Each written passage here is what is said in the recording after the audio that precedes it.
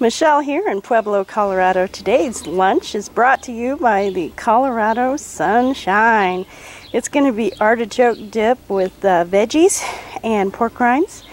Um, it's going to be quite delicious. It's got artichokes and cream cheese and garlic and Parmesan cheese. We're going to cook it in the sun oven, which I've got set up and aimed.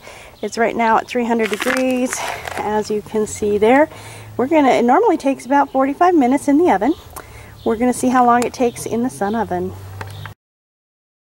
All right, we are back with the sun oven. It is um, over 350 degrees in there, not quite 375 though. Um, I'm going to check and see if we have a nice crust.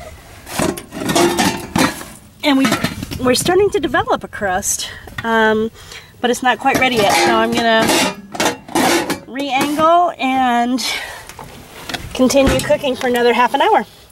Come on back. It has been in the sun oven two hours, our lovely artichoke dip.